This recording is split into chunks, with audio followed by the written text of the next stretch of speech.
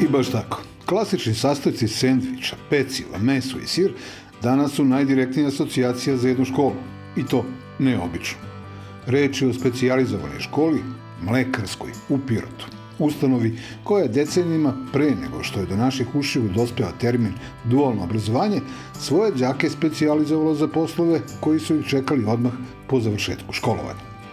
Priča o ovoj jedinstvenoj školi na našim prostorima započela je odmah po okončanju drugog svetskog rata.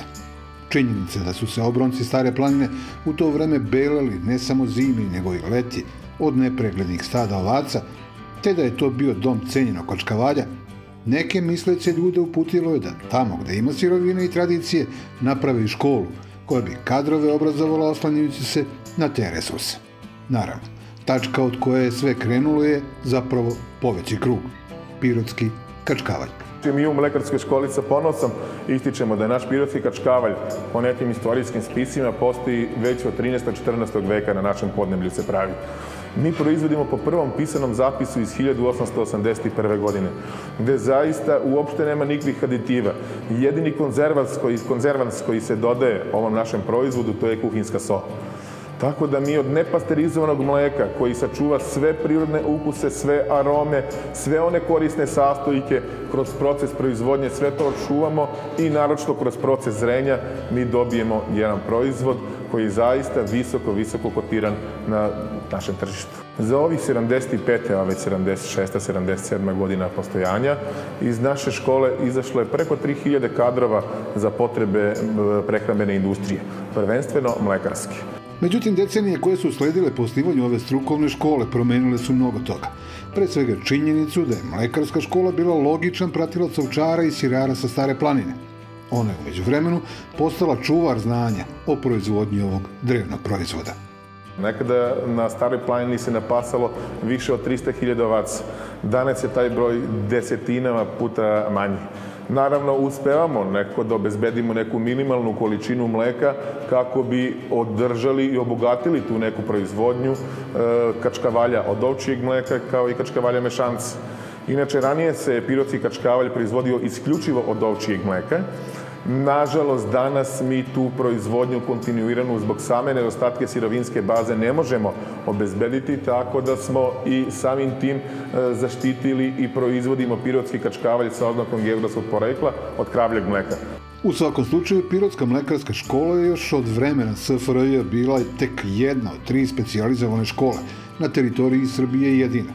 Upravo stoga, ona je bila stecište za učenike koji su dolazili sa svih strana, kako bi sticali znanja neophodna brojnim lekarama.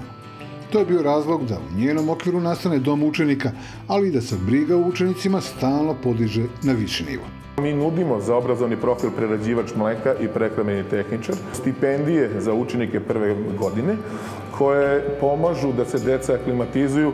Te stipendije se odnose na besplatan smeštaj u prvoj godini i ishranu u domu učenika i besplatne učbenike, sanitarne preglede, opremu za celokupno školovanje i naravno trudimo se da s obzirom da imamo veliku saradnju sa mlekarama širom Srbije, manjim i većim mlekarama, obezbedimo i učenicima iz Podneblja iz koga dolaze i neku stipendiju od neka mlekara iz njihovog kraja. Zahvaljujući tome, ova škola je prebrodila i sve promene koje je donalo vreme sveopšte tranzicije društva.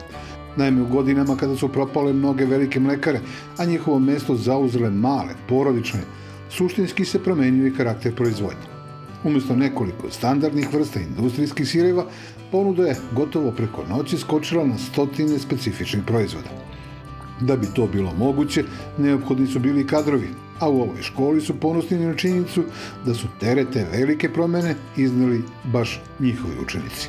Ono što posebno karakteriše mlekarsku školu i što je izdvaja u odnosu na druge, to je ta neka preduzetnička aktivnost koja se usađuje u duh samih učenika još od prvog razreda. Inače, tu je velika radionica mlekarska i imamo jednu manju pekarsku radionicu. Mlekarska radionica je komercijalnog tipa gde se svakoga dana preradi po 5000 litara mleka dnevno u široki asortiman e, naših proizvoda. Prvi i osnovni, to je piroci kačkavalj, radimo sve vrste ovoga. Znači imamo i kravlji kačkavalj, ovči, koziji kačkavalj, mešanac, bele sireve, zatim imamo paster, mleko, urdu. Pored ovih proizvoda, oni sami prave i sireve, plesnive sireve, kao i sve druge tipove sireva koji su karakteristični e, za svetsko podneblje.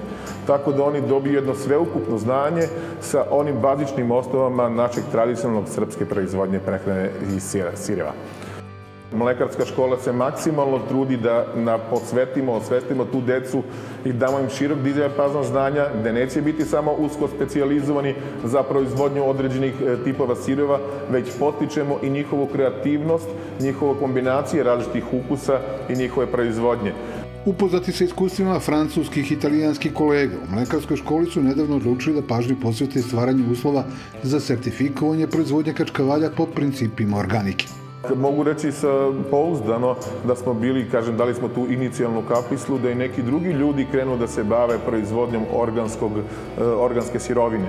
S obzirom i na samu cenu, oni su našli tu svoj interes, tako da se nadam, ovo je organska proizvodnja u zamahu kod nas u Srbiji, tako drago mi je da i mlekarska škola deo toga da dajemo jedan pozitivan primer i pozitivan impuls svim proizvođačima i svim prerađivačima ovih proizvoda.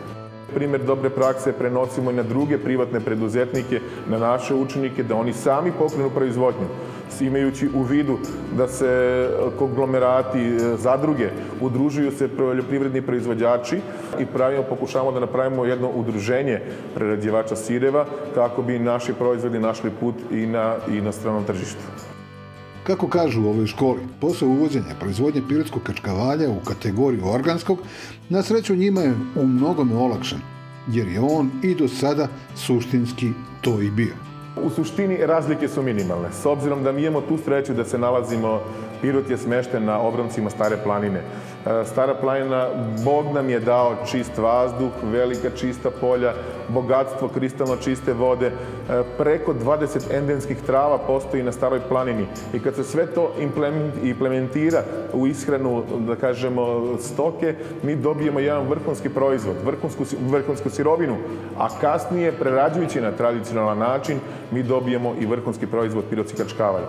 Razlike među organske proizvodnje i klasične proizvodnje jesu u našem slučaju minimalne, sa obzirom da kod nas nemamo nekih velikih, ogromnih farmi gde se životinje i tretiraju na različite načine, tako da i neki antibiotici, hormoni bi mogli da prelaze u mleko kroz ishranu putem silaže, sena, to je jako slabo zastupljeno, već je na prirodan način ishrane, tako da su razlike minimalne, ali opet mora da se ispoštuje neka zakonska procedura kako od samog dobijanja sirovine, tako i same proizvodnje, načina proizvodnje uh, ovoga finalnog proizvoda i to su te neke, da kažemo, minimalne razlike. I kako na početku naglasili smo da je ovo zapravo jedna sandvič škola, a do sada pomenuli smo samo njen dominantni mlekarski deo i onaj namenjen edukaciji pekara, valja otkriti i šta čini onaj mesni sastojak.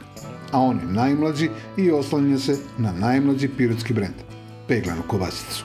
Već nekoliko godina unazad radimo e, mese, malu mesarsku radionicu. Već prošle godine izdaši su prvi proizvodi. To je jedna manja količina koju naše učenici rade na praksi i izrađuju. Tako da dajemo im dobre smernice, dobro uputstva i neke nove ideje kako bi oni mogli nakon završetka školovanja, da kažemo ukoliko se ne zaposle kod, u nekoj fabrici, da dobiju sobstvene ideje i razviju sobstveni biznis na opšte zadovoljstvo svih nas. U realizaciji ovog projekta rukovodstvo škole se suočava sa brojnim problemima, od finansijskih do epidemioloških, ali onaj koji po najviše smeta je isti onaj koji opterećuje proizvodnju originalnog ovčije kačkavalja. Opustala stara planina i hronični nedostatak junećeg, a pre svega ovčijeg i kozijeg mesa, onoga što čini osnovu kompozicije ukusa peglane. Problem koji je mnogo realniji, koji se pravi s obzirom na migraciju stanovništva, peglana kobasica se jako malo pravi u tim planinskim krajevima gde su idealne temperature. Već se mora proizvoditi u nekim uslovima. Ona se pravi u periodu od novembra, kad su već niže temperature, ali da nisu jako niske, kako ne bi došlo do smrzavanja molekula vode i samim tim oštećivanje kompozicije samog proizvoda. Ali kažem onda to je drugi glavni problem s obzirom da klima se jako brzo i drastično menja u proizvodnji jednog kvalitetnog proizvoda koji bi imao konstantan kvalitet tokom cele godine. I s obzirom na sezonski tip, sezonski karakter ove proizvodnje, to je drugi tip i gde su neuslov, osnovni uslovi, preduslovi koje se mora napraviti svako ko želi da se malo ozbiljnije, ozbiljnije uključi u ovu proizvodnju, to je da napravi razne komore gde će imati konstantnu, da kažemo, i vlažnost vazduha i konstantnu temperaturu. Na ovom projektu se već napredovali, ali svoj konačni oblik dobit će tek kada se završi jedan drugi projekat, onaj koji jednu od dve napuštene zgrade na posudu mlekarske škole treba da pretvori u novu pirotsku atrakciju. Naša ideja da jednu od tih zgrada preusmerimo, odnosno obnovimo i napravimo u smeru razvijanja muzeja Kačkavalja, odnosno degustacijonog centra. Zaista je veliki i turistički potencijal i gastronomski potencijal naše kraja, tako da mislimo da je ovo dobra ideja. Pored tog dela, tu bi bio i odeljak za zrenje i proizvodnju peglane kobasice, tako da bi neka dva naša prehrambena brenda zaista mogli objediniti, s obzirom da imamo prostor. Sve u svemu, po mnogo čemu je Mlekarska škola u Pirotu specifična obrazovna ustanova. Piroćanci pa kažu da je jedinstvena po tome što samo ovu školu možete da prepoznate po mirisu i ukusu. A jedno i drugo je vredno hvala. Thank you.